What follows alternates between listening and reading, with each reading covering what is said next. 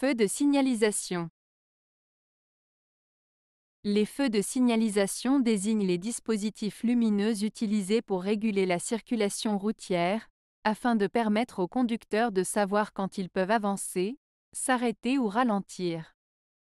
Ces feux sont souvent utilisés aux intersections et aux passages piétons pour assurer la sécurité des usagers de la route. Ils sont généralement composés de trois couleurs. Le rouge, qui signifie arrêt, le vert, qui signifie avance, et le jaune, qui indique une transition entre les deux. Par exemple, si un feu de signalisation est rouge, les conducteurs doivent s'arrêter et attendre que le feu passe au vert avant d'avancer. Si le feu est vert, les conducteurs peuvent avancer en toute sécurité.